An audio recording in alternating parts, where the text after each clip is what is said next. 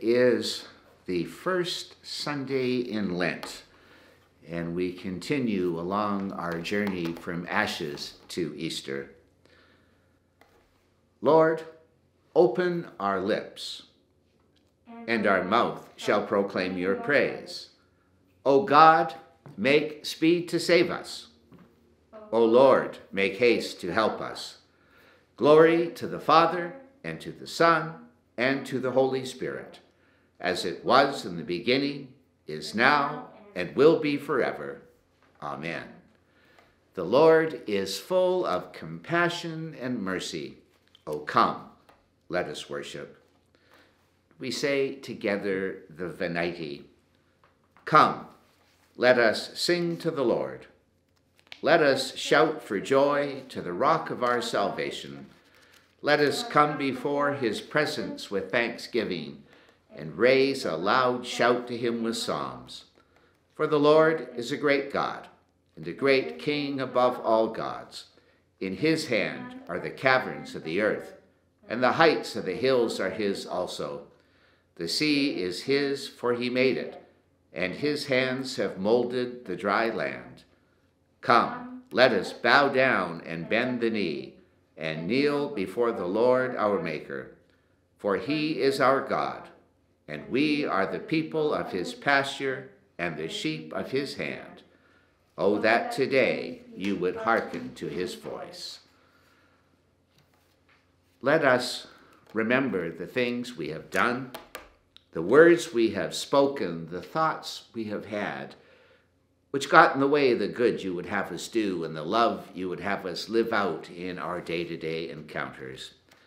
And so together we say, O God, you made a covenant with us in faithfulness, but we confess we are not always so faithful to you. We can grow tired and restless when things don't go our way. We can lose patience with others we can lack compassion for our neighbors in need and even forget to express our love to those closest to us. Forgive us, gracious God. Lead us in the way we should go. Make us prisms of your love. Make us rainbows of your light, creating beauty and deepening hope wherever we go. For the sake of Christ our Lord. Amen. Almighty God, have mercy upon you, pardon and deliver you from all your sin, confirm and strengthen you in all goodness, and keep you in eternal life through Jesus Christ our Lord. Now the collect for the first Sunday in Lent. God of the wilderness, your Son battled with powers of darkness and grew closer to you in the desert.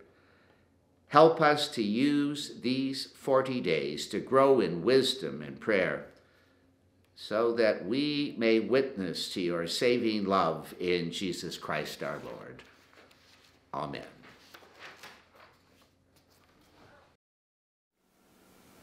A reading from the book of Genesis. Then God said to Noah and to his sons with him, As for me, I am establishing my covenant with you and your descendants after you and with every living creature that is with you, the birds, the domestic animals, and every animal of the earth with you, as many as came out of the ark. I establish my covenant with you, that never again shall all flesh be cut off by, by the waters of a flood, and never again shall there be a flood to destroy the earth. God said, This is the sign of the covenant that I make between me and you and every living creature that is with you for all future generations. I have set my bow in the clouds, and it shall be a sign of the covenant between me and the earth. When I bring clouds over the earth, and the bow is seen in the clouds, I will remember my covenant that is between me and you and every living creature of all flesh, and the waters shall never again become a flood to destroy all flesh. When the bow is in the clouds, I will see it and remember the everlasting covenant between God and every living creature of all flesh that is on the earth.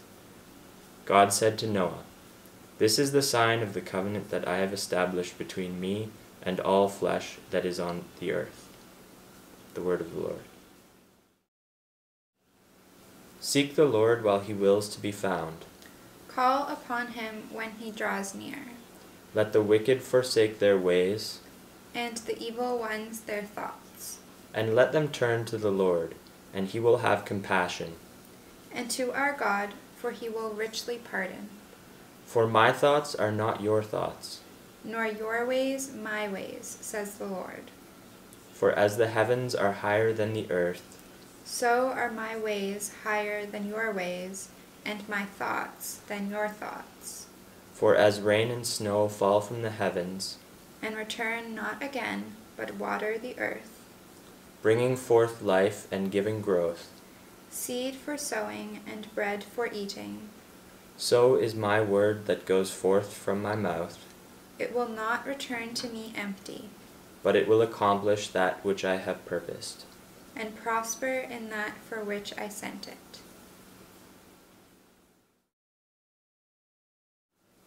A reading from the Gospel of Mark. In those days Jesus came from Nazareth of Galilee and was baptized by John in the Jordan. And just as he was coming up out of the wa- water, he saw the heavens torn apart and the Spirit descending like a dove on him. And a voice came from heaven You are my Son, the Beloved. With you I am well pleased. And the Spirit immediately drove him out into the wilderness. He was in the wilderness for forty days, tempted by Satan, and he was with the wild beasts, and the angels waited on him. Now after John was arrested, Jesus came to Galilee proclaiming the good news of God, and saying, The time is fulfilled, and the kingdom of God has come near. Repent and believe in the good news. The word of the Lord. I speak to you in the name of God, Father, Son, and Holy Spirit. Amen. Every year, on the first Sunday in Lent. The lectionary gives us one of the three readings of Jesus in the wilderness. This year, uh, our reading is part of the Markan cycle. And one of the things that we see time in and time out in the Gospel of Mark is that Mark is not a detailed person. Mark is about brevity. He just gets to the point. And, and for preachers today, the greatest temptation is to draw in Matthew or Luke, uh, gospel narratives about the temptation, which are filled with Jesus and the tempter engaging in witty repartee. And, and Jesus comes out on top because Jesus is Jesus. And then when it's finished, he goes on his way to get on with the work of being Messiah. There are so many images, so many directions that you can run with, with that story, either from Matthew or Luke. From Mark, not so much. Not so much. And so I think it's important on this day, in this part of the liturgical cycle, for us to look at the reading from Mark in tandem with the reading from the Hebrew Scriptures, the narrative of Noah and, and the ark. Let's start with Noah. Uh, the story, as, as you well know, is about the fact that, that humanity was caught up in corruption they were perverse. There was evil. There was violence. And, and they had pushed Yahweh, God, to the limit of, of his patience.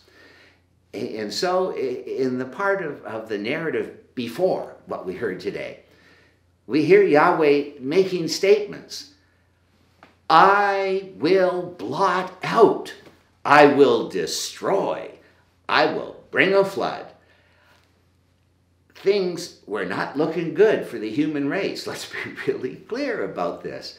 Uh, but in the midst of this, in the midst of this, Noah arrives on the scene, and Noah was one who was above the perversity and corruption of humanity. Noah was a person of faith. Noah was a person who understood what it meant to be a child of God, one of God's creatures. And so, in the middle of the chaos, in the middle of the destruction, God remembers Noah and has a change of heart a change of mind. And Yahweh, God, makes an irreversible promise, an irreversible commitment to a new humanity. I will remember my covenant. And the rainbow is the symbol of the fact that Yahweh would always remember the covenant with Yahweh's people. Now let's be clear. Chaos still existed. Evil and, and violence and destruction still existed. The difference, however, was the promise that no matter what, they would never be cut off. They would never be alone. God, Yahweh, would be with them, no matter what. Okay, we, we, we move to our gospel reading today. And we know that the gospel of Mark is a gospel of conflict. That from the very beginning, that Jesus would be in conflict with the powers of Rome, the powers of the empire. He would be in conflict with the Jewish religious elite. And he would be in conflict with the cosmic forces of evil, the unholy trinity. Okay. In our reading today, Jesus is baptized in the wilderness by John. He is infused with, he is possessed by the Spirit of God, the Ruach, the holy breath of God. And, and that same Spirit drives him deeper into the wilderness for an encounter. And in this encounter, Jesus is tested by, and in Mark's gospel, tested is a much better translation than tempted. He is tested by the forces of evil. And, and we see in the story that, that he is confronted by wild beasts. I think it's interesting that in the book of Daniel and later in the book of Revelation, wild beasts are metaphors for the political and religious powers that menace humanity. We have a story here about Jesus in the wilderness confronting the unholy Trinity, confronting those forces of evil which menace humanity. But he's not alone. He's not alone.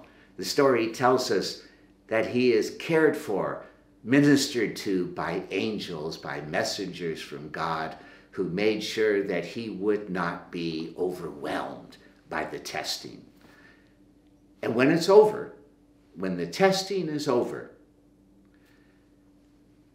let's be clear evil, it, it had not been done away with.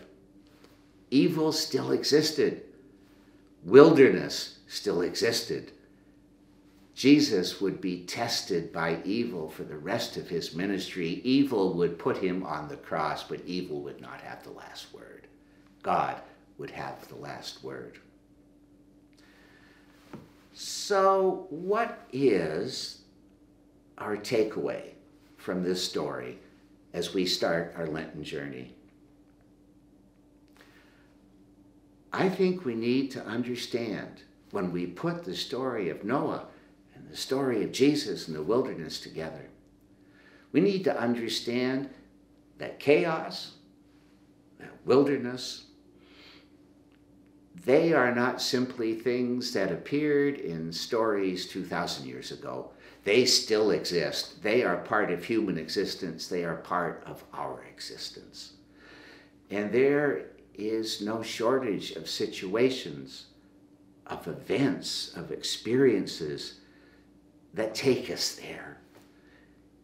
And when we find ourselves in wilderness moments, we can feel cut off. We can feel alone. We can feel like the rest of the world is happy and we are the only ones that are hurting. Wilderness can be crushing. It can be terrifying, mind numbing, heartbreaking. It absolutely can. But here's the thing we are not alone. Remember God's promise I will remember my covenant with my people. Even at those times, at those moments when it is hard to feel, hard to believe, God is present. We're not alone. But, but there's more. Uh, yesterday, I received an amazing, an amazing message from my daughter-in-law, and it had a picture of my grandson, Lion, who's six years old, and Lion had the stomach flu, and he was kneeling in front of the toilet doing what six-year-olds do when they have the stomach flu. Um, and as he was there, feeling like his world was coming to an end, his two-year-old sister, Liberty, stood beside him with her hand on his back, looking at him with a look of love and concern. And when I looked at, at that picture, it occurred to me that Liberty was Lion's angel. In that wretched and retching moment, she was there so that he would know he was not alone. This two year old made sure that her big brother knew that he was loved and that he would not be overwhelmed. As, as we go through our Lenten journey, and I suggested on Ash Wednesday that, that Lent is a journey from ashes to Easter, it's a journey from brokenness to wellness, from brokenness to shalom. If that is true, and I believe it is, I think we would do well, you and I, to think about those moments when we have been in the wilderness. And listen, we have all been there, and some of us are still there. Think of those wilderness moments in your life and think about who the angels were.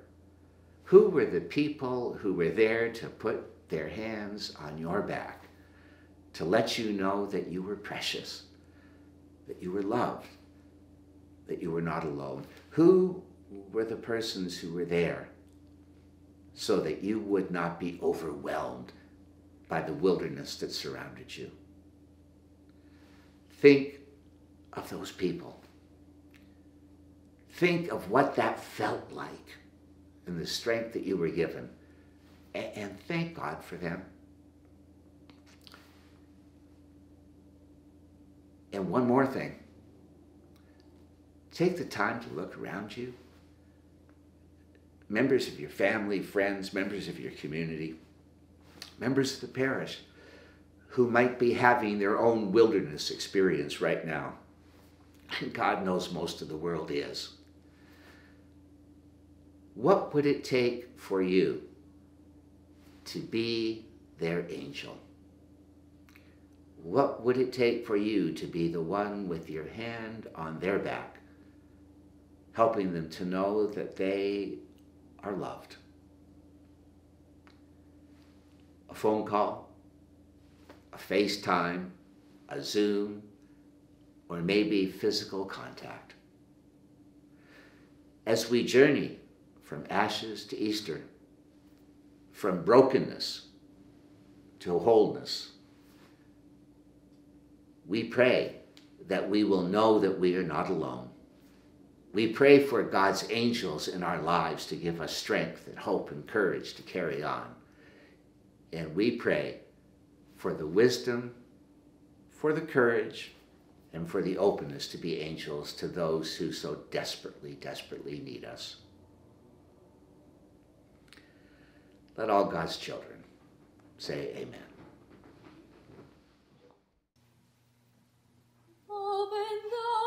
shall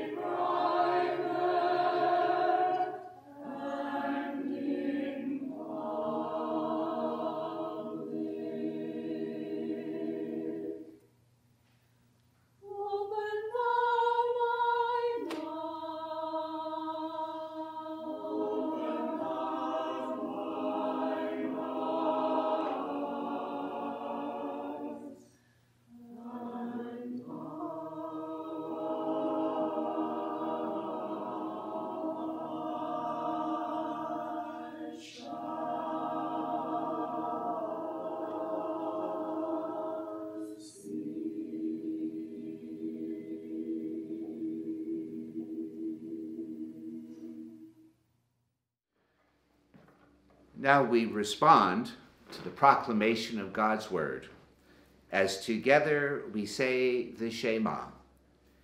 Hear, O Israel, the Lord our God, the Lord is one. Love the Lord your God with all your heart, with all your soul, with all your mind, and with all your strength. This is the first and the great commandment. The second is like it love your neighbor as yourself. There is no commandment greater than these.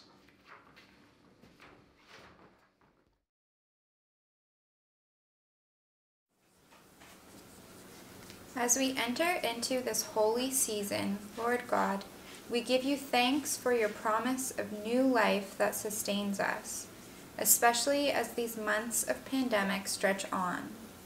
We thank you for tiny signs of hope, even in a bleak landscape or on a challenging day, for glimpses of beauty in a smile or a ray of sunshine. For scientific achievements that ease suffering in this time of pandemic, for the people who support and serve others in times of weakness or loss, for the chance to recover from mistakes, to begin again. Lord of life, sustain us with your presence and give us patience and perseverance as we await the future with you. Trusting your promise of new life, it is with hope that we pray. For anyone we have hurt by harsh words or careless deeds. For those known to us who are carrying heavy burdens. For all who are seeking employment or worry about their businesses for teachers, students, and school administrators managing so many challenges this year.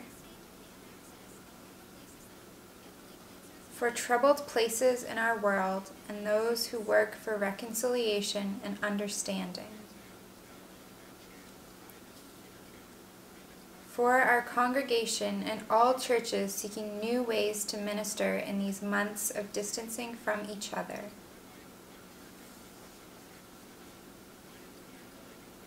for Aidan, appointed to be our new incumbent, and for Sarah, William, and Bennett, as they prepare to leave their parish family in Sudbury to come and be in our midst. That this challenging time of transition might be the beginning of a new and exciting chapter in their lives. And for the people of the parish they are leaving behind, for strength and vision as they move into the future God intends for them, we pray. for ourselves and those lives closely connected to ours. Renew our health and hope for the future you will bring us through the courage and compassion of Christ our Lord, as we pray together the words he taught us. Our, our Father in heaven, hallowed be your name. Your kingdom come, your will be done, on earth as in heaven. Give us today our daily bread. Forgive us our sins, as we forgive those who sin against us. Save us from the time of trial, and deliver us from evil. For the kingdom, the power, and the glory are yours, now and forever. Amen.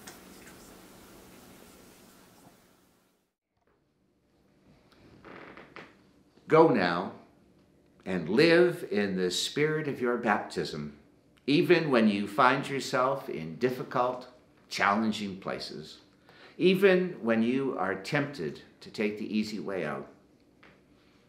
May God enfold you in tender and lasting love. May Christ be beside you in times of struggle.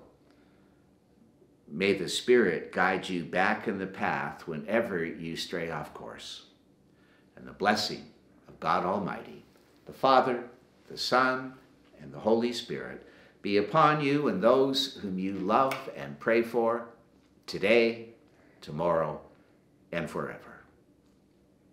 Amen.